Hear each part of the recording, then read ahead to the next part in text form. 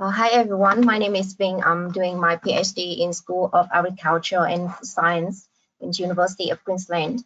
Today I'm happy to share with you some a part of some results from my thesis, the factor of fighting allicin concentration in garlic. During my during my presentation, I will highlight why garlic is an important crop, what is allicin and its roles, and how to extract allicin and what affects allicin concentration in garlic bulb. Garlic has been cultivated since ancient, ancient time as fresh vegetable for culinary, culinary purposes or material for medicinal purposes.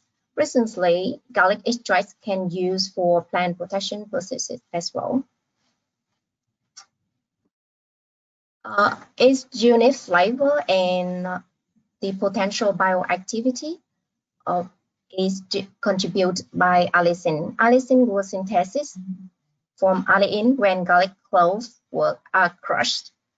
After synthesis, allicin transformed to diallyl sulfide, diallyl disulfide, or diallyl trisulfide.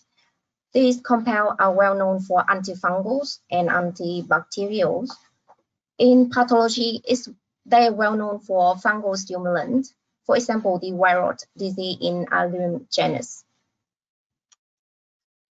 To extract allicin, we have developed a very simple and rapid method.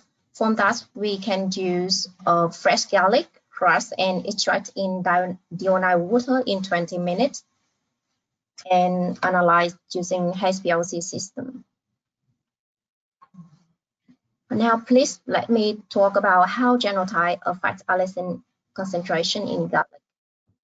We have 29 garlic varieties from uh, World Vegetable Center, and we have three Australian garlic, and the results show that the allicin concentration was significant difference between garlic variety. It ranged from 10 to 24 milligram per gram in dry matter basis.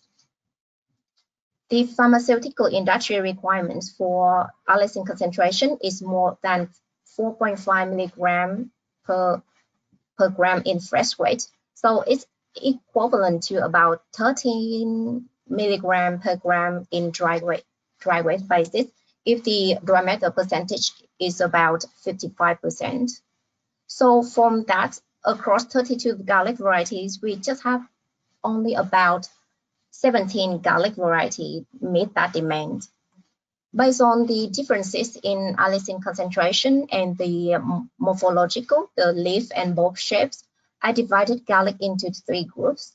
And during the um, standard growing condition in Queensland of in in uh, in Gatton, Surrey Gatton, um, um, they can grow from March to September and they show the different uh, response to temperature. That's why we have further study to see how planting time can affect the allicin concentration. In this experiment, we planted garlic in February, March, April, and May, and we used 16 garlic varieties. It belonged to group one, group two, and group three. Group three, and the results show that the allicin concentration um, changed different between planting time and planted garlic. The group 1 and group 2 garlic variety planted later than March reduce um, substantially allicin concentration. For example, uh, the, the variety AV18, uh, 17, they reduce a half of allicin concentration when it's planted in uh, May. For uh, garlic group 3, they tend to have stable allicin concentration across uh, when they planted in February to April. However, they still reduce the allicin concentration if planted in um, May.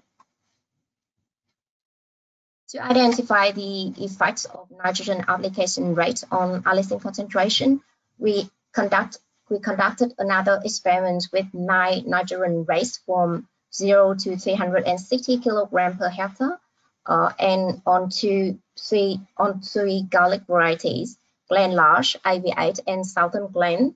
In that, Glen Large and AV8 have really low allicin concentration, and Southern Glen have high allicin concentration.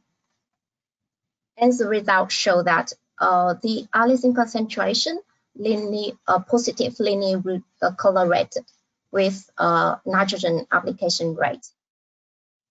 And they have the consistent trend across three garlic variety.